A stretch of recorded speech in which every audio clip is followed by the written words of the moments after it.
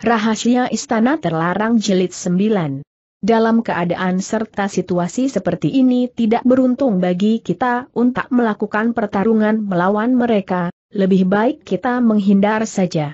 Mereka semua sadar bahwa situasi yang dihadapan saat ini sangat berbahaya sekali maka tak seorang pun berani berayal dengan gerakan paling cepat mereka lari terus ke muka, dalam sekejap mata empat lima li telah dilalui. Tiba-tiba terdengar suara derap kaki kuda yang santar berkumandang di sisi mereka seekor kuda dengan cepatnya berkelebat menuju ke arah jalan raya dari sisi beberapa orang itu. Orang itu pasti adalah mata-mata perkampungan Pek Hoa Sancung yang bersembunyi di sini, seru Yong cepat. Xiao Ling segera berjongkok mengambil sebutir batu cadas, kemudian hawa murninya disalurkan ke arah kepergelangan seraya membentak. Siapa itu ayo cepat berhenti orang itu berlagak pilon, ia tetap membandel, kudanya lari menjauhi tempat itu. Xiao Ling segera melayang ke depan, di dalam dua tiga kali loncatan tubuhnya sudah berada di belakang kuda itu, tangan kanan diayun maka pecahan batu cadas itu pun segera meluncur ke depan. Orang itu mendengus berat tubuhnya jatuh bergelindingan dari atas pelana dan menggeletak di sisi jalan. Sementara Xiao Ling hendak maju ke depan untuk memeriksa lebih jelas lagi raut wajah orang itu, Tiba-tiba dari sisi tubuh orang ITN meluncur keluar segulung cahaya api di mana langsung menerjang ke angkasa dan meledak dengan kerasnya, terciptalah serentetan bunga-bunga api berwarna perak menerangi jagat yang gelap. HMM keparat cilik ini belum modar seru TNQ sambil mendengus dingin, tubuhnya segera meloncat ke depan. Menanti ia periksa orang itu lebih seksama terlihatlah lelaki kekar tadi sudah menggeletak di atas tanah tak berkutik dari mulut serta lubang hidangnya mengeluarkan darah segar berwarna hitam, jiwanya telah putus. Rupanya serangan yang dilancarkan Xiao Ling teramat berat, setelah punggung orang terhajar telak tubuhnya langsung terjatuh ke tanah, namun sebelum putus nyawa ia masih sempat melepaskan bom udara untuk memberi kabar kepada rekan-rekannya. Tuk amat heki, sekali tendang dia melemparkan mayat orang ITN hingga mencelat enam tujuh dipa dari tempat seniula. Jejak kita sudah konangan, seru Yok Ong sambil memandang sekejap ke arah bunga api di angkasa. Arah perjalanan kita harus dirubah. Mari kita lari ke arah timur. Para jago tidak membuang tempo lagi, mereka sama-sama berlari menuju ke arah timur. Emap lima li kembali dilalui, sampailah rombongan jago tersebut tiba di sisi hutan. Dalam pada itu Xiao Hujian yang digendong oleh Kim Lan, meski tidak bisa berjalan sendiri namun setelah berlari-lari lama tubuhnya tidak tahan, dengan suara lirih pintanya, Ling Jie bagaimana kalau kita beristirahat dulu, kemudian baru melanjutkan perjalanan kembali. Ucapan Mama tidak salah sedikit pun, sekarang kita sudah keluar dari daerah yang berbahaya memang sepantasnya kita beristirahat terlebih dahulu. Tiba-tiba dari empat arah delapan penjuru bermunculan busu-busu yang telah mengurung rapat sekeliling tempat itu dengan bersenjatakan gendawa dan pedang.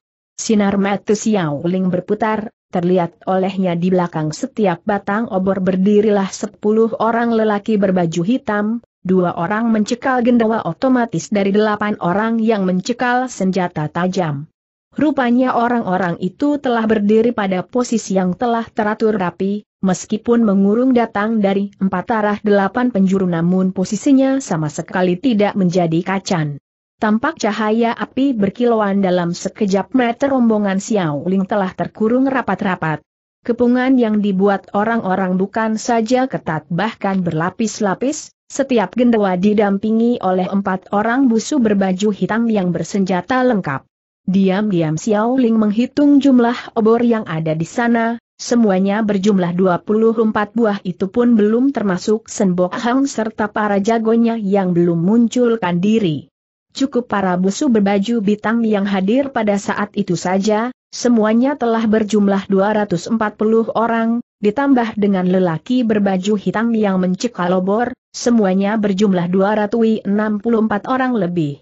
Sewaktu berada di dalam perkampungan Pek Hoa Sancung tempo dulu, Xiao Ling pernah merasakan kelihayan dari para bos su berbaju hitam itu meski ilmu silat yang mereka miliki belum dapat terhitung sebagai seorang jagoan kelas 1, namun setiap busu-busu itu rata-rata tidak takut mati, sewaktu turun tangan gerak-gerik mereka mendekati kalap, depan rontok belakang menyusul datang tiada hentinya, care bertarung macam begitu betul-betul mengerikan sekali.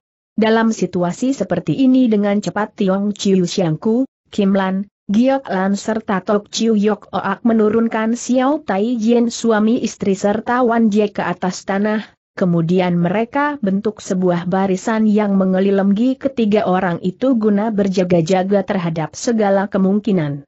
Di bawah sorotan cahaya obor yang terang benderang, tidak mungkin lagi bagi si Raja Obat bertangan keji untuk menyembunyikan tubuhnya lebih jauh terpaksa dengan busungkan dada ia tampil ke depan. Sementara itu para busu berbaju hitam yang sedang bergerak maju, tiba-tiba menghentikan gerakan mereka kira-kira beberapa tombak dari beberapa orang itu. Terdengar suara Senbok Hang yang serak-serak sember berkumandang datang, Saudara Xiao, Xiao Heng mengerti bahwa busuku yang berjumlah 200 orang tidak akan berhasil mengurung dirimu, tetapi di bawah hujan anak panah yang dilepaskan dari 40 lembar gendera otomatis, aku rasa bukan pekerjaan yang gampang bagimu untuk melindungi kedua orang tuamu lolos dari kepungan dalam keadaan selamat. Air muka Xiao Liak berubah jadi hijau membesi, ia bungkam dalam seribu bahasa. HMMM Kawan Bulim semua mengatakan bahwa Sen Bokhom adalah seorang manusia yang tidak mengindahkan sahabat, namun hubungan persaudaraan mereka itu dengan dirinya amat akrab. Perkenalan kami pun sudah berlangsung lama sekali, aku rasa asal oh munculkan diri niscaya persoalan yang terjadi pada saat ini segera dapat diselesaikan. Ia merandek sejenak, kemudian teriak kaya lantang, Senheng, Apakah kau dapat menjumpai diri Xiao Te? Sudah kulihat sejak tadi. Tak menanti Sen Bok Hang melanjutkan kata-katanya lebih jauh, si Raja bertangan keji menyela lebih jauh. Sen Heng, kau terlalu mengerti tentang keadaan Xiao Te, jiwa Wanjie putri kesayanganku lebih jauh berharga daripada jiwa Xiao Te sendiri. Setelah Xiao Ling menolong dirinya berulang kali, Bagaimanapun juga Xiao Te harus membalas budi kebaikannya ini, hee, hee hee, aku rasa penyakit dari keponakan perempuanku itu sudah merasuk ke dalam tulang, sekalipun Xiao Ling ada niat menolongnya belum tentu sanggup melaksanakannya. Peristiwa yang terjadi sungguh kebetulan sekali dan merupakan kebalikan dari dugaan Seng Heng, dengan menempuh bahaya Xiao Ling telah berhasil mendapatkan obat mujarab untuk menyembuhkan penyakit Xiao Ling kini penyakit yang ia derita sudah mulai sembuh mungkin setelah beristirahat 10 sampai setengah bulan, ia akan sehat kembali seperti orang biasa. Kalau begitu Xiao Heng harus menghaturkan Kiong Hie kepadamu. Persahabatan kita erat melebihi saudara, Selama banyak tahun Xiao Te pun sudah banyak mencurahkan tenaga untuk membantu usahamu. Perkampungan Pek Hoa Sancung dapat jaya seperti sekarang bisa memiliki busu-busu yang tidak takut mati sehingga menakutkan hati para jago Kangou, meski Xiao Te tidak berani merebut pahala, namun hitung dua tenagaku yang kusumbangkan kepadamu tidaklah sedikit. Sedikit pun tidak salah, kau bantu aku dalam perkampungan Pek Hoa Sancung, apakah kau sekarang hendak membantu orang lain untuk menghancurkan kembali ke semua itu? Xiao Te tidak berani berbuat demikian cuma saja Xiao Te mempunyai satu permohonan hendak diajukan kepada diri Sen Heng. Katakanlah, Xiao Ling telah menyelamatkan jiwa Xiao Li, sudah sepantasnya kalau Xiao Te menolong orang tua dari Xiao Ling. Seandainya Sen Heng suka memberi muka kepada diriku bubarkanlah para boasu berbaju hitam yang mengurung di sekeliling tempat itu, lepaskanlah Xiao Ling dari sini. Setelah hutang budi Xiao Te terhadap Xiao Ling dibayar lunas, di kemudian hari kita masih tetap merupakan saudara karib. Menanti kelemahan tubuh Xiao Li telah pulih, Xiao Te akan mendidik dirinya menjadi seorang jagoan yang tak terkalahkan di dalam Bu IIM. SAA itulah kami ayah dan anak pasti akan sumbangkan seluruh tenaga kami buat Sen Heng guna mencapai cita-cita merajai Kangou. HNAHAA, meskipun 35 tahun tidak terhitung panjang, dan aku orang season bisa menunggu dirimu. Tetapi aku takut partai-partai besar yang ada di kolong langit dewasa ini tidak sudi menanti lebih jauh. Menurut pandangan aku orang season di dalam tiga tahun mendatang, dunia persilatan pasti akan terjadi sesuatu penyelicisayan secara besar-besaran, tatkala saudara turun gunung kembali pada 35 tahun mendatang, mungkin kalau bukan Xiao Te telah menjago seluruh buin, tulang belulangku mungkin sudah jadi dingin. Kalau begitu Sen Heng tidak sudi memberi muka buat Xiao Te untuk membayar hutang budi kumi? Haa, haa, haha, haa, lain dulu lain sekarang, lain belalang lain padangnya, dahulu kasih Raja Obat bertangan keji adalah air untuk memelihara ikan, rumput untuk memelihara kuda bagi perkampungan Pek Hoa Sancung, Kini bunga telah bersemi indah bunga harum semerbak telah menyebar ke empat penjuru, kau si Raja Obat bertangan keji sudah tak berguna lagi bagi mereka, keadaanmu sekarang bagaikan kotoran kuda yang disisikan. Ece Yok Ong, terpaksa aku si pengemis tua harus memakai dirimu, lebih baik sedikitlah tahu diri daripada mendapatkan malu yang tak berguna, seru Sun Putya sembari tertawa terbahak-bahak. HMMM Yok Ong mendengus dingin. Persoalan di antara kami dua persaudaraan lebih baik tak usah kau campuri. Terdenkar Senbok Hang telah berbicara, Xiao Ling telah menolong selembar jiwa keponakan perempuanku, saudara pun telah menolong jiwa orang tuanya bahkan meracuni sampai mati kedua belas orang busuku, kalau dihitung-hitung rasanya kau sudah tidak berhutang budi lagi terhadap dirinya. Kalau mau tolong orang harus menolong sampai akhir, Xiao Te ada maksud menolong kedua orang tua Xiao Ling, sudah tentu aku tidak logis menyaksikan mereka ditawan kembali ke dalam perkampungan Pek Hoa San Chung oleh diri Sen Heng. Aku harap Sen Heng suka membubarkan para busu berbaju hitam yang ada di sekeliling tempat ini, bukalah jaring untuk malam ini saja dan melepaskan mereka semua pergi dari sini. Setelah peristiwa ini Xiao Te tidak akan mencampuri urusan mengenai diri Xiao Ling lagi, saudaraku kau memiliki gelar sebasi si Raja Obat bertangan keji, mengapa tabiatmu pada malam ini kok berubah jadi begitu welas kasih sungguh mengherankan, bagaimana mungkin sifatmu bias berubah gratis begitu? harimau yang ganas pun tidak akan mencaplok anaknya sendiri masa Xiao Te sebagai seorang manusia jadi lebih bejat moralnya daripada seekor binatang?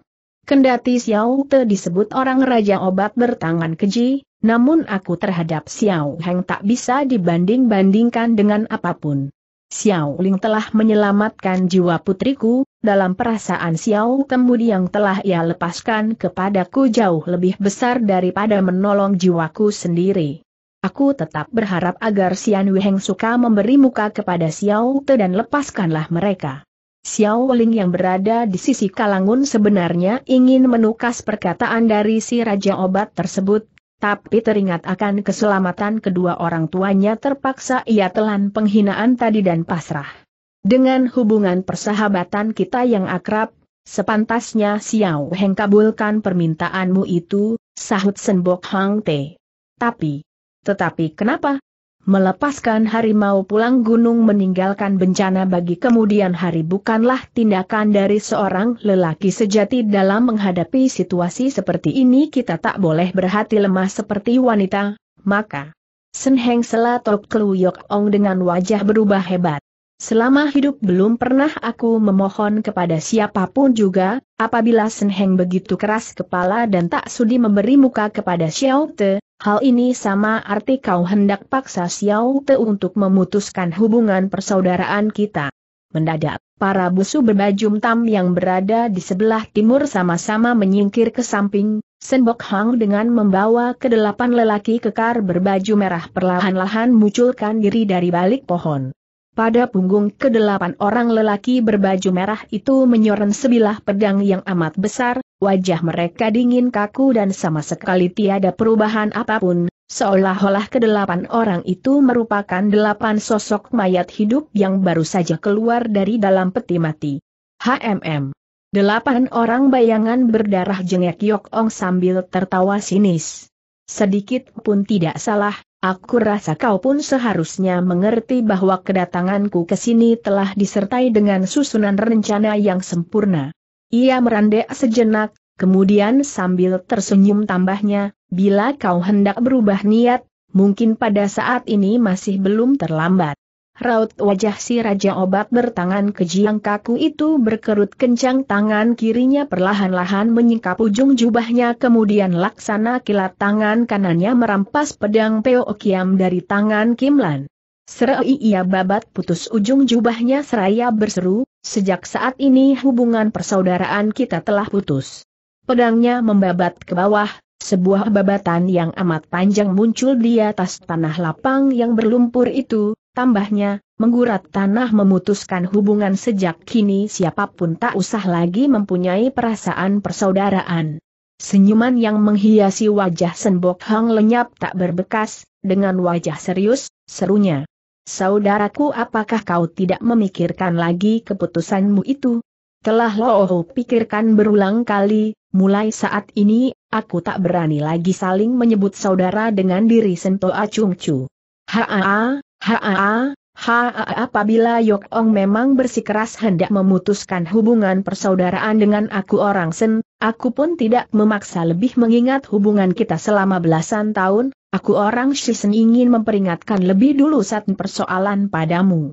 Silahkan sentuh Acung Cu utarakan. Dalam pertarungan nanti, golok dan panah tak bermata, seandainya sampai melukai jiwa putrimu, Jangan menyalahkan aku orang Shisen turun tangan terlalu telengas. Selembar wajah Tok Chiu Yok Ong yang sudah jelek sekali, kini bertambah semakin jelek saja, sahutnya sepatah demi sepatah, barang siapa pun yang berani melukai jiwa Xiao Li, Loo tidak akan mengampuni jiwanya.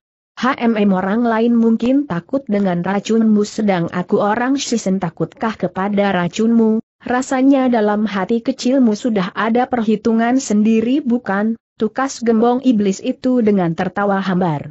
Racun ada beribu-ribu jenis banyaknya, aku yakin ke orang Shisben belum sampai kebal terhadap segala jenis racun. Dalam hubungan kita selama belasan tahun aku orang Shisen sudah memahami caramu menggunakan racun. Titik eh eh eh Kau anggap aku si Raja Obat bertangan keji tak dapat menyimpan beberapa macam kepandaian untuk berjaga diri. Kini kita berdua telah berdiri dalam posisi saling bermusuhan, aku orang Shisem pun tidak akan mengelabui dirimu lagi. Sebelum hujan sedia pajung, jauh hari sebelum kejadian ini secara diam-diam aku telah meracuni dirimu, agar tubuhmu menderita luka parah, Asal di dalam setahun mendatang aku tidak berjumpa muka dengan dirimu, maka racun yang mengeram pasti akan kambuh dan mulai bekerja. Lohu sudah menduga kau bisa meracuni diriku secara diam-diam, maka aku pun secara diam-diam telah meracuni pula dirimu, tidak sampai setengah tahun racun dalam tubuhmu akan mulai bekerja. Dari tanya jawab kedua orang ini, terlihatlah dengan jelas betapa keji dan berbahayanya dunia persilatan. Diam-diam Xiao Ling menghela napas panjang, pikirnya, aaai meskipun mereka telah saling bersahabat selama belasan tahun lamanya sungguh tak nyanan masing-masing pibak telah saling meracuni pihak yang lain peristiwa ini benar-benar membuat diri bulu roma orang. Sementara itu terdengar Senbok Hang mendungak tertawa terbahak-bahak lalu berkata kembali, anggap saja perkataanmu tidak salah dan kau benar-benar telah menanamkan racun keji ke dalam tubuhku, namun aku masih punya kesempatan hidup selama setengah tahun lamanya. Sedang kau kasih Raja Obat bertangan keji tidak akan bisa lolos pada malam hari ini juga. HMMMM, dewasa ini menang kalah masih belum bisa ditentukan, lebih baik sentuh acung cu tak usah bicara sumber lebih dulu. Xiao Ling yang meninjau situasi dari sisi kalangan mulai menyadari bahwa keadaannya sudah bagaikan anak panah di atas busur menunggang di atas punggung harimau pertempuran antara mati dan hidup di antara mereka pun tak bisa dihindari lagi, maka sambil layunkan pedangnya ia berseru lantang, Senbok Hang, nama besarmu telah belasan tahun bersemayam dalam dunia persilatan sebagai seorang lelaki sejati tunjukkanlah kejantananmu sebagai seorang lelaki dan yang an bicarakan lebih dulu hasil dari pertempuran ini hari. Aku Xiao dengan bilah pedang di tangan ingin menantang dirimu untuk berduel, aku rasa Sento Acung Cu sebagai lelaki tulen tidak akan menolak tantanganku ini bukan? Sepasang mata Senbok Hang yang tajam bagaikan pisau perlahan-lahan menatap wajah Xiao Ling, kemudian ia menjawab. Berbicara dari situasi yang ada dewasa ini, akulah yang memegang posisi untuk menang bila aku layani tantanganmu untuk berduel, bukankah tindakan ini merupakan tindakan seorang tolol? Xiao Ling tertawa dingin, ia berpaling memandang sekejap ke arah Sun Putia serta si Raja Obat bertangan keji, Kemudian katanya, Aku orang Shisiao ada beberapa patah perkataan hendak kuutarakan kepada kalian, aku mohon Lo Chiampu berdua suka bertindak mengikuti permintaanku ini. Has, ha ha ha ha, sekalipun pada malam ini kita tak dapat menerjang keluar dari kepungan, paling sedikit jumlah jagoan perkampungan Pek Hoa Sanong yang mati pun ada separuhnya, bila dibicarakan menurut Kero Dagang, bukan saja modal sudah didapat kembali bahkan mendapat untung pula, Xiao Tai Hiap apa perintahmu katakanlah segera, suruh terjun ke air aku akan terjun ke air, suruh ke api aku akan terjun ke api seru Sun Putia. Kalau begitu EIH ucapkan banyak terima kasih lebih dulu seraya berkata ia lantas menjura dalam-dalam, sementara sinar matanya berputar ke arah si Raja Obat menantikan jawabannya.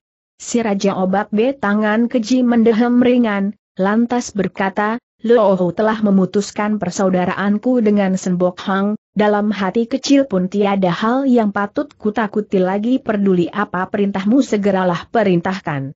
Tatkala Cai Hai turun tangan menghadapi Seubok Hang nanti, Aku minta kalian berdua tak usah turun tangan membantu diriku ujar Xiao Ling dengan wajah serius. Aku berharap agar kalian sudi membawa sepasang pedagang dari Tiong Chiu serta Kim Lan, Giok Lan sekalian untuk menerjang keluar dari kepungan. Dengan kepandaian yang dimiliki Lo Chiam Poi berdua rasanya para busu dari perkampungan Pek Hoa San Chung tidak nanti bisa menghalangi kepergian kalian, harapan untuk menerjang keluar kepungan pun besar sekali. Apa kau hendak melayani Senbok Hang serta kedelapan orang bayangan berdarah seorang diri tanya Sun Putsia dengan wajah tertegun. Ditambah pula dengan 200 orang busu berbaju hitam yang tidak tatut mati, Yok Ong menambahkan.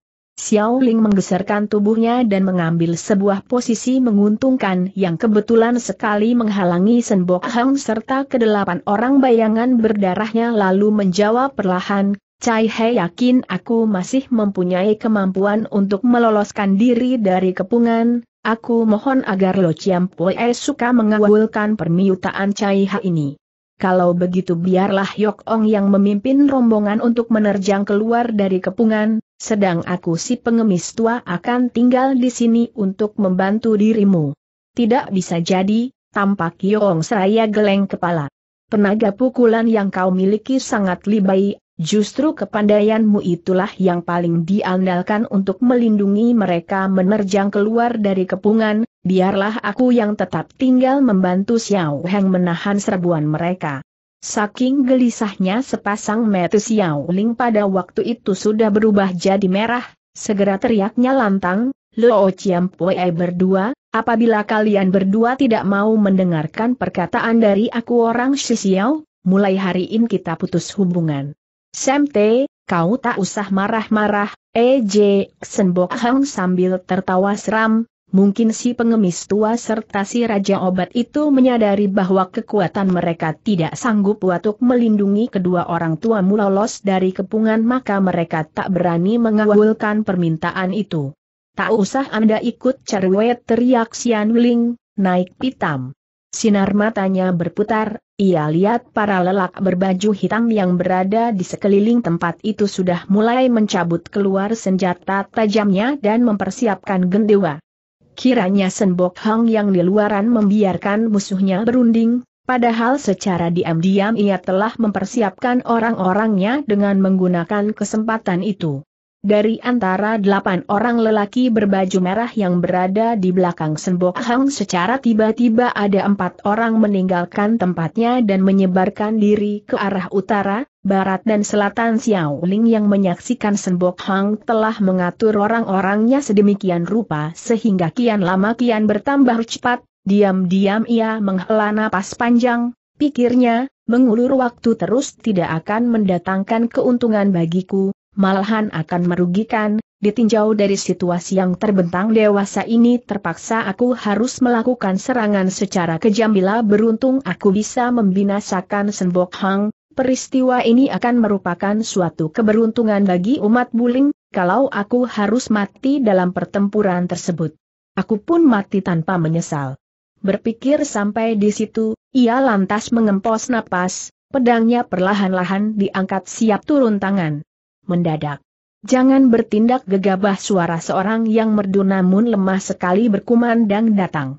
Tatkala semua orang berpaling, maka tampaklah Putri Yok Oege yang berpenyakitan itu secara tiba-tiba meronta bangun, seraya mencekal pergelangan tangan Kim Lan seru tanda tanya ya, oh, oh, oh ayah bukankah kau selalu memuji putrimu adalah seorang gadis yang pintar, aku ingin memohon kepada Empek agar ia suka melepaskan diri kita.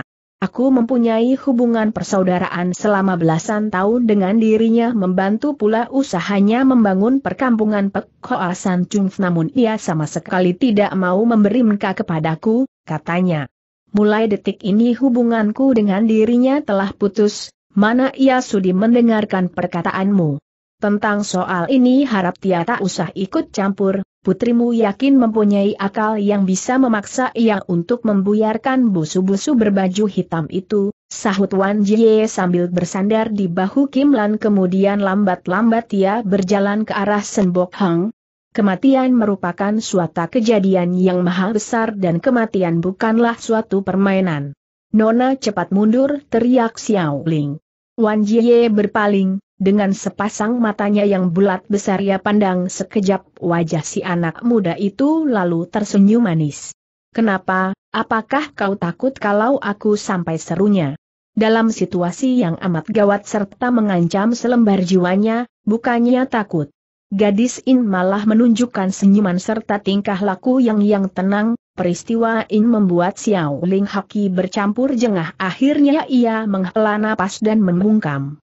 Si Raja Obat bertangan kejilah yang paling gelisah keringat dingin mengucur keluar membasahi seluruh tubuhnya. Wan Jie serunya cemas. Ucapan Xiao Ling sedikit pun tidak salah, kematian adalah suatu peristiwa yang besar, janganlah kau gunakan kematian sebagai bahan lelucon ayo cepat mundur. Anak buah empek senamat banyak, bisik Wau Jie dengan nada yang lembut setelah memandang sekian para busu yang mengurung di sekeliling tempat itu. Sulit bagi kalian untuk lolos dari kepungan dalam keadaan selamat. Sekalipun mereka berhasil menerobos keluar dari kepungan, Nona serta kedua orang tua Xiao Ling pun tak dapat lolos dalam keadaan hidup, sambung Senbok Hang sambil tertawa berat. Wan Jie tidak berbicara lagi, ia dorong tubuh Kim Lan sambil berbisik, ayo jalan. Tatkala menjumpai Senbok Hang tadi saking takutnya seluruh tubuh Kim Lantil berubah jadi lemas, untuk maju melangkah ke depan rasanya berat sekali, namun ketika teringat akan keadaan Wan Jie yang lemah dan tidak mengerti ilmu silat namun tidak takut mati, terpukullah hati kecilnya, sambil gertakan giginya dan keraskan hatinya ia berjalan menuju ke arah Senbok Hang, Keadaan si Raja Obat bertangan keji lebih-lebih mengenaskan Iagi, saking cemasnya keringat dingin mengucur keluar tiada hentinya membasahi seluruh tubuhnya. Xiao Ling yang menyaksikan tingkah laku kedua orang gadis tersebut dari kejauhan, diam-diam mengempos tenaga guna melakukan persiapan, pedang dicekal kencang-kencang lalu berseru dengan dingin dengan keras, Senbok Hang, dia adalah seorang gadis lemah yang sama sekali tidak mengerti akan ilmu silat, bila kau berani melukai dirinya, maka namamu akan jatuh pamor, kau tidak akan punya muka lagi untuk unjuk muka lagi untuk berjumpa dengan Hyong di kolong langit ini. Keadaan es Raja Obat bertangan keji lebih mengenaskan lagi, saking cemasnya keringat dingin mengucur keluar tiada hentinya membasahi seluruh tubuhnya. Senbok Hang ia pun berseru. Kalau kau lukai Xiao Li maka aku akan meracuni pula seluruh penghuni perkampungan Pek Hoa San Chungmu, anjing ayam tak akan kubiarkan hidup. Tia, Xiao Ling, harap kalian legakan hatimu. Empek Sen tidak nanti melukai diriku, seru Wanji sambil berpaling.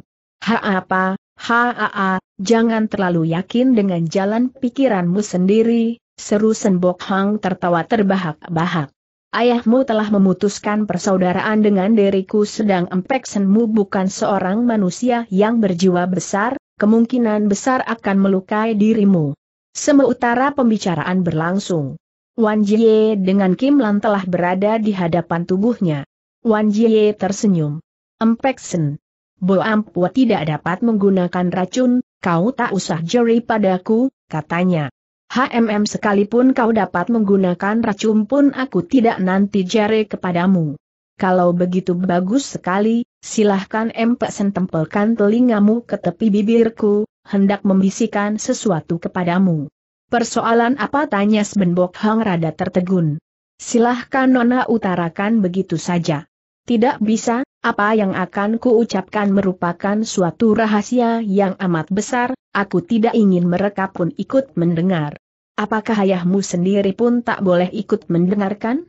Bila ia tahu, mungkin aku akan dicaci maki habis-habisan, tentu saja ia tak boleh ikut mendengarkan. Senbok Hang termenung berpikir sebentar, akhirnya ia bongkokkan tubuhnya yang tinggi besar itu dan ditempelkan telinganya di sisi bibir gadis tersebut. Tampak Wan Jie kasak kusuk membisikkan sesuatu ke telinga Senbok Hang, diikut air muka gembong iblis itu berubah hebat. Sungguh tanyanya sambil bangun berdiri. Banyak perkataan telah kuucapkan, badanku terasa amat lelah sekali, kalau kau tidak mau percaya, aku pun tak dapat berbuat apa-apa. Sekilas E. Ahaya penuh nafsu membunuh berkelebat di atas Matu Senbek Hang lalu ia berseru, Budak cilik, aku harus menghancur lumatkan tubuhmu terlebih dahulu. Wan Jie tersenyum. Janganlah disebabkan urusan kekil ini hingga mengakibatkan masalah besar jadi terbengkelai apa gunanya kau bunuh seorang gadis lemah yang tidak mengerti ilmu silat macam aku? Seandainya aku kabulkan permintaanmu dan membuyarkan para busu yang mengurung di sekeliling tempat ini, perlahanlah nafsu membunuh di atas wajah gembong iblis itu menyus. Tentu saja ku penuhi janjiku tadi itu. Seandainya kau membohongi aku, lepaskan dulu mereka agar berlalu dari sini, AKN akan tetap tinggal di sini sebagai sandera. Para jago tidak tahu apa yang telah diucapkan gadis tersebut kepada Senbok Hang namun setelah mendengar kesanggupan gembong iblis itu untuk membiarkan para busu yang berada di sekitar tempat itu, mereka sama-sama tercengang dan tidak habis mengerti. Baik kita tetapkan demikian saja, seru Senbok Hang, ia ulapkan tangannya dan menambahkan. Buka sebuah jalan buat mereka. Sekitar tempat itu sama-sama mengiyakan, dari arah Tiraur. Barat, utara maupun selatan terbukalah sebuah jalan untuk Icuat. Empat pintu telah kubuka semua terserah kalian hendak berlalu dengan lewati arah mana ujar gembong iblis itu kembali. Wan Jie segera berpaling dan memandang sekejap ke arah Xian Ling, pintanya, Xiao Ling, aku mohon kepadamu sudilah mendengarkan perkataanku, mau bukan? Nonawan, katakanlah permintaanmu itu. Oawai kedua orang tuamu serta para jago berangkatlah menuju ke arah selatan. Bagaimana dengan Nona sendiri? Aku akan tetap berada di sini sebagai sandera. Tidak bisa, aku Xiao Ling sebagai seorang lelaki sejati tidak sudi melakukan perbuatan seperti itu, lebih baik aku bertempur sampai tiek darah penghabisan. Daripada mendengarkan permintaan Nona. Aa kau, sebagai seorang enghiong memang sepantasnya bertempur sampai titik darah penghabisan tetapi bagaimana nasib kedua orang tuamu apakah mereka pun harus menemani kau untuk bertempur sampai mati? Xiao Ling tertegun, untuk beberapa saat lamanya ia tak sanggup mengungkapkan sepatah kata pun. Senheng tiba-tiba si Raja Obat bertangan keji berseru sambil menjura. Sian Wate akan tetap tinggal di sini sebagai sandera, bagaimana kalau kau bebaskan Xiao Li? Percuma aku menahan dirimu. Oh oh Tia seruan Jie. Detik ini putrimu berada di sisi Impeksen seandainya ia membabatkan telapak tangannya niscaya putrimu segera akan mati binasa, sekalipun Tia ada maksud menolong aku pun percuma. Anakku, siapa suruh kau hantarkan diri ke mulut harimau? Kini putrimu telah berada di ambang mulut harimau, banyak bicara pun tak ada gunanya. Mendadak gadis itu tersenyum, tambahnya. Tapi aku percaya bahwa Empeksen tidak akan melukai diriku sinar matanya. Beralih ke atas wajah Senbok Hang benar bukan Empeksen? Asal kau tidak membohongi aku, tentu saja tidak nanti kulukai dirimu. Nah, sudah kalian dengar perkataannya itu kenapa belum juga pergi seruan Jie sambil menyekair keringat di atas kepalanya. Mendadak Sian Ling menggertak gigi, kepada si Raja Obat serta sepasang pedagang cerunya, Aku minta agar Cui sekalian dengan membawa serta kedua orang tuaku segera berlalu dari sini, aku orang Shisiao akan tetap berada di sini mendampingi Nonawan. Begitupun Bal Juta, Wan JLA mengangguk sambil membenahi rambutnya yang kusut, meski situasi amat gawat namun gadis lemah tersebut sama sekali tidak gentar, malahan ia kelihatan begitu tenang. Meskipun tabiat Empek senrada licik dan jahat, namun otaknya amat pintar. Tidak nanti membinasa diri kita karena mengikuti nafsu sehingga merusak cita-cita untuk menjagoi dunia persilatan. Sinar matanya menyapu sekejap wajah Senbok Hang, tanyanya, benar bukan Emreksen? HMM, anggap saja benar. Wan Jie tersenyum, sinar matanya kembali beralih ke atas wajah Xiao Ling dan menambahkan. Anakku jangan bunuh diri, Seru Raja Obat bertangan keji dengan air mata bercucuran. Nah, kalan begitu kalian harus segera pergi dari sini. Kim Lan tidak berani membangkang, bersama-sama si Raja Obat bertangan keji mereka segera berlalu ke arah selatan. Menanti semua orang telah berlalu Wan Jie jadi lemas karena mengeluarkan banyak tenaga untuk bicara, kakinya lemas dan badannya roboh ke atas tanah. Untung Xiao Ling berada di dekatnya, dengan cepat si anak muda itu menyambar tubuhnya dan dipeluknya erat-erat. Wan Jie menghembuskan napas panjang, dengan sikap yang tenang ia bersandar di dada Xiao Ling lalu ujarnya sambil tertawa, aku masih ingat bahwa aku pernah memberitahukan namaku kepadamu, kau tentu masih ingat bukan? Tentu saja masih ingat. Coba katakan siapa namaku? Bukankah Nona bernama Lam Kong Hyo? Ehm, sedikit pun tidak salah. Selama ini Senbok Hang hanya berdiri mematang di sisi kalangan, sejak para jago meninggalkan tempat itu tak sepatah kata pun yang diucapkan, kini kesabarannya telah habis, dengan suara dingin segera tegurnya, perkataan semacam itu lebih baik dibicarakan nanti saja, meski kesabaran Loohu baik, namun kalian harus tahu bahwa bahwa kesabaran seseorang itu terbatas. Xiao Ling menoleh, setelah dilihatnya bayangan para jago lenyap tak berbekas, ia lantas berseru sambil busungkan dada, Sento Acung Chu, kau ingin ajak aku orang si Xiao berdua.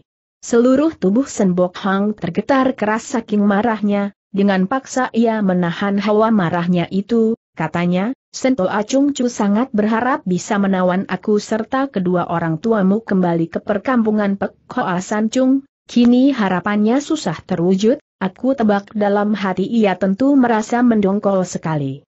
Xiao Ling segera berpikir setelah mendengar perkataan itu, bocah ini rupanya sedang cari gara-gara, dalam keadaan serta situasi seperti ini sudah untung kalau Senbok Hang tak mau turun tangan melukai dirinya apa gunanya sih mengolok-olok dia sehingga membangkitkan hawa amarahnya jaraknya dengan dia begitu dekat seumpama kata gembong iblis itu berubah pikiran, mungkin tidak sempat bagiku untuk menolong jiwamu.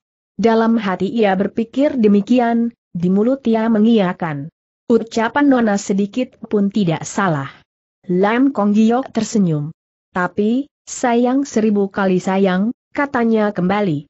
Sepandai-pandainya tupai melompat akhirnya jatuh juga, sepintar-pintarnya seseorang akhirnya kena dipecundangi pula oleh orang lain, disebabkan hendak membinasakan kita berdua, cita-citanya untuk menguasai dunia Kang akan berantakan. Xiao Ling tidak mengerti apa yang sedang dimaksudkan gadis tersebut, namun ia menjawab juga sekedarnya. Sedikit pun tidak salah. Selama ini aku selalu menyebut Sento Acung Chu sebagai empek, tapi kini ia telah memutuskan hubungan persaudaraan dengan ayahku apa boleh buat, aku pun tak bisa menyebut dia sebagai empek lagi. Tidak malu Sen Bok Hang disebut sebagai seorang pemimpin dunia Kangou, Ken Datilan Kong Giok mengejek, menyindir maupun mengolok-olok dia dengan kata apa pun, ia tetap membungkam dalam seribu bahasa, sikapnya tetap serius dan tubuhnya sama sekali tidak berkutik dari tempat semula. Kurang lebih seperminum teh kemudian gembong iblis ini baru buka suara menegur, Nona, waktunya sudah habis. Ah benar, waktunya memang sudah habis. Sekarang kau harus penuhi janji yang telah kau katakan pada diri Lohu itu. Begini saja, seru Lem Kong Giok sambil menyapu sekejap sekeliling tubuhnya. Buyarkan dulu para BOSU berbaju hitam itu, dengan demikian aku bisa segera melarikan diri setelah barang itu kuserahkan kepadamu. Sinar mata Sen Bok Hang berputar, ia termenung dan membungkam. Sudahlah, tak usah mencari akal setan lagi, Tegur Lam Kong Chiok tersenyum. Peta tersebut telah kubagi menjadi beberapa bagian dan ku sembunyikan di beberapa tempat yang berbeda pula, sekalipun kau berhasil membinasakan diriku dan mendapatkan sebagian dari peta itu pun percuma saja, tidak nanti kau mendapat sesuatu dari peta yang tak lengkap. Heeh, heeh, Nona, apakah kau tidak merasa terlalu banyak syarat yang kau ajukan? Kau telah menyetujui untuk tidak mencelakai kami, apa bedanya kalau cuma membuyarkan para busu di sekeliling tempat ini? Dengan care apa kau hendak membuktikan kepadaku bahwa kau bukan lagi membohongi diriku? Aku tidak nanti membohongi dirimu, kalau kau tetap banyak curiga, yah, apa boleh buat. Sinar matanya berputar menyapu sekejap tempat itu, lalu tambahnya, paling banter kau cuma dapat membinasakan diriku seorang, Xiao Ling pasti berhasil meloloskan diri dari kepungan. Eh, eh, eh orang Shisen, pada saat ini kau berdiri pada posisi yang tidak menguntungkan, mengapa tidak mau mengalah satu tindak? Budak cilik, seru Sen Bok Hang sambil menarik napas panjang. Kalau kau bohongi aku, maka sekalipun kau bersembunyi di ujung langit pun akan ku cari sampai ketemu dan akan ku suruh kau mencicipi bagaimanakah rasanya siksaan yang terhebat di kolong langit ini. Sebaliknya kalau aku tidak membohongi dirimu, timbal balik yang Loohu berikan kepadamu rasanya tidak terhitung kecil, iya. Ulapkan tangannya. Buyarkan semua orang di sekitar tempat ini. Tampak para busu yang berada di sekitar tempat itu sama-sama mengundurkan diri, dalam sekejap mata mereka telah bubar semua. Nona, para busu di sekeliling tempat ini sudah pada bubar, dan Looh pun sudah berulang kali mengalah kepadamu, harapkah sedikit tahu diri, Senbok Hang memperingatkan. Lam Kong Giok tidak langsung menjawab, ia menyapu sekejan para lelaki berbaju merah yang berada di belakang gembong iblis itu, kemudian berkata, Toa Chung Chu, setelah kau membubarkan para busu berbaju hitam yang berada di sekeliling tempat ini rasanya kau tak perlu menahan pula lelaki berbaju merah itu. Nona, janganlah membangkitkan hawa gusar dalam hati Loohu, kalau kau mendesak diriku terus-menerus, kemungkinan besar aku akan berubah pikiran. Xiao Ling yang selama ini membungkam terus, tiba-tiba mencela dari simping. Peluang bagimu untuk menghalangi perjalanan aku orang Shisiao kian lama kian bertambah kecil kalau Toa Chiung Chu tidak percaya silahkan coba sendiri. Perjalanan sejauh 100 li telah kau lewati 90 li ini merupakan langkahmu yang terakhir. Kalau kau tetap keras kepala maka usahamu selama ini akan menemui kegagalan total, Lam Kong Giok menambahkan. Tiba-tiba Sen Bok Hang angkat kepala dan tertawa terbahak-bahak. Haa, haa haa, sungguh tak kunyana aku Senbok Hang sebagai seorang pemimpin Kangou harus tunduk dan kecundang di tangan seorang gadis lemah yang berpenyakitan. Toa Chung Chu, kau terlalu memiji Senbok Hang berpaling ke arah lelaki berbaju merahnya dan menitahkan, kalian mundurlah sejauh satu tombak lelaki-lelaki berbaju merah yang berdiri di belakang gembong iblis itu tidak membangkang dengan mulut tertutup mereka sama-sama mengundurkan diri ke belakang. Menanti orang-orang itu telah lenyap di tengah kegelapan, Senbok Hang baru berkata kembali, Nona, apakah kau masih ada syarat lain? Tidak ada ia merogoh saknya ambil keluar sebuah bungkusan kain kuning lain melanjutkan. Padahal peta ini ada di dayam saku bajuku dalam keadaan komplit, peduli dengan care apa pun kau tawan atau bunuh aku benda ini dapatkan peroleh dengan gampang sekali. Senbok Hang siap meayambut bungkusan itu, tapi secara tiba-tiba Xiao Ling membentak keras, tunggu sebentar. Saudara Xiao, apa maksudun? Pedang di tangan si anak muda itu membentuk gerakan satu lingkaran, bunga pedang berkelebat melindungi tubuh Lem Kong Giok, kemudian menjawab. Memandang ke arah di mana Xiao Ling melenyapkan diri, gembong iblis ini menghembuskan napas panjang, perlahan-lahan ia putar badan berlalu dari situ.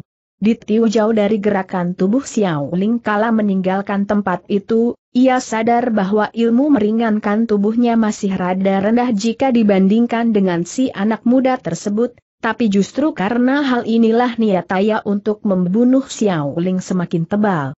Dalam pada itu Xiao Ling dengan menggendong Lam Kong Giok melakukan perjalanan cepat meninggalkan tempat yang sangat berbahaya itu dalam sekejap mata puluhan li telah dilewatkan menanti dirasakannya Sen Bok Hang tidak mengejar datang ia baru berhenti. Nona, perlukah kita beristirahat sejenak? Oh, oh, sungguh cepat larimu angin dingin yang menyabok wajahku hampir-hampir saja membinasakan diriku. Ah, nona maaf seribu kali maaf berhubung keadaan kita pada waktu itu amat berbahaya, maka Cai He cuma sempat berpikir bagaimana caranya membawa nona melarikan diri dari situ, Cai He telah lupa kala nona baru saja sembuh dari sakit. Lam Kong Giok tersenyum. Sebenarnya aku sudah pingsan sejak tadi. Apakah disebabkan Cai He keburu berhenti? Bukan berhubung kau membopong aku maka seandainya aku jatuh tidak sadarkan diri, bukankah tak dapat kurasakan kehangatan tubuh yang bisa kurasakan hanya sejenak ini saja? Xiao Ling tertegun, ia bungkam dalam seribu bahasa. Masih ingatkah kau ketika ayahku hendak menjodohkan diriku sebagai binimu, tapi kau menolak dengan tegas? Xiao Ling menghela napas panjang.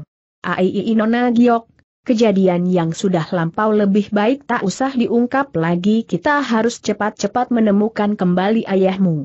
Perlahan-lahan Lem Kong Giok memejamkan kembali sepasang matanya dan membungkam, dua titik air mata jatuh berlinang membasahi pipinya yang pucat.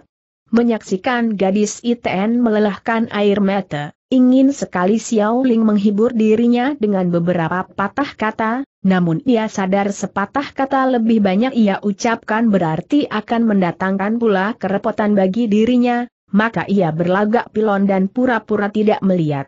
Sambil membopong gadis itu cepat-cepat Xiao Ling melanjutkan kembali perjalanannya.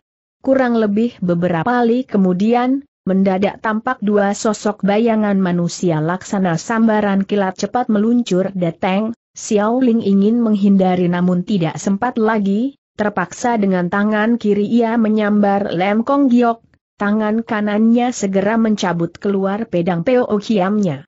Ketika tiba di hadapan si anak muda itu kedua sosok bayangan manusia tadi secara mendadak berhenti, kiranya mereka bukan lain adalah Sun Put serta si Raja Obat bertangan keji.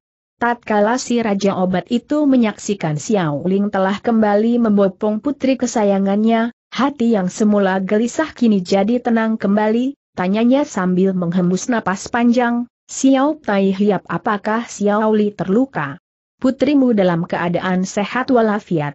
Perlahan-lahan Tok Chiu Yong mendekati putrinya dan berbisik lirih. Wan Jie, apakah kau baik-baik saja? Tia, aku baik-baik saja sahut Lem Kong Giok sambil membuka matanya dan memandang sekejap ayahnya. Seolah-olah mendapatkan harta karun, cepat-cepat si Raja Obat itu membopong putrinya dari tangan Xiao Ling. Anakku sayang dengan care apakah kau berhasil mengundurkan Sembok Hang?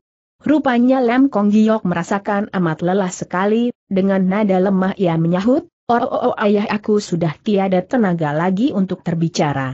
Baik-baik, jangan bicara, jangan bicara, kau benar-benar putri si Raja Obat, meski baru sembuh diri penyakit parah namun kehebatannya luar biasa. Wajahnya penuh rasa gembira yang sukar dilukiskan dengan kata-kata, hal ini bisa dibayangkan betapa bangganya ia memiliki seorang anak yang cerdik. Kecerdikan serta keberanian putrimu benar-benar tidak berada di bawah seseorang Eng Hiong Hohan, Cai Hei merasa sangat kagum, seru Xiao Ling memuji. Haa, haa, pujian semacam ini muncul dari mulut Xiao Tai Hiap, tentu saja kenyataannya tak bisa ditambah iagi.